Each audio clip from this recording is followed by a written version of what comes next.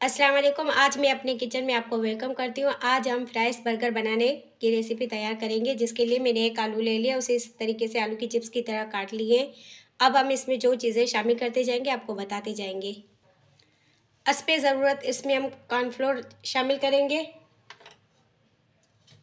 असपे ज़रूरत, नमक इसमें शामिल करेंगे।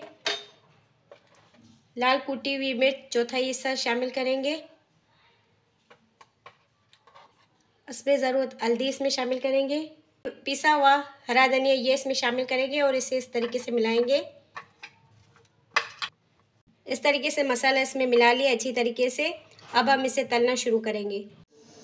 तेल अच्छी तरीके से गर्म हो गया। छः खाने के चम्मच तेल हमने इसमें पैन में, कढ़ाई पैन में शामिल किए। हैं अब हम फ्रेंच फ्राइज तलना शुरू कर रहे हैं। इसी तरीके से दूर दूर फासला रखकर आपको तलना है ताकि अच्छे तरीके से पक जाए और आपस में चपके भी ना।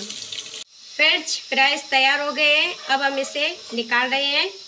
इसे तैयार हो गए हैं, ठीक है? पैन को ऑयल से ग्रीस किया है। अब हम इसके ऊपर बन रखेंगे इस तरीके से। हल्की दरमियानी आँच पर चूल्हे पर रखना है।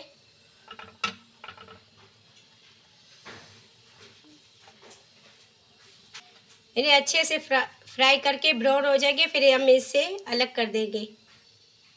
ब्राउन हो गए, अब दूसरे भी इसी तरीके से ब्राउन करने हैं। अब हम इस पर माइनस लगाएँगे, इस तरीके से ब्रेड पर।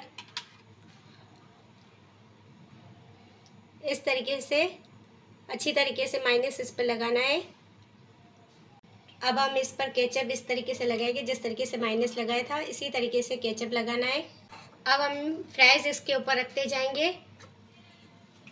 इस तरीके से।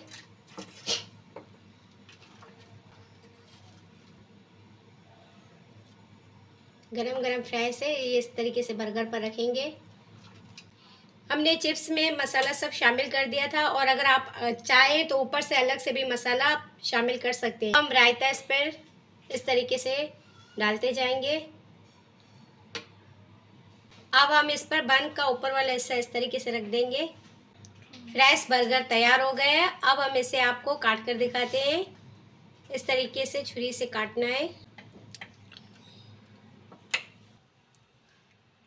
इस तरीके से हमने काट लिया और ये देखिए कितने मज़ेदार बर्गर तैयार हो गया है। आप भी अपने घर में ये रेसिपी ज़रूर बनाना, हमारे वीडियो को लाइक करना शेयर करना और हमारे चैनल को सब्सक्राइब करना। अगर आप हमारे वीडियो में नए आपने सब्सक्राइब नहीं किया है तो सब्सक्राइब ज़रूर करना। अपना बहुत सारा ख्याल रखना। अल्लाह हाफिज़।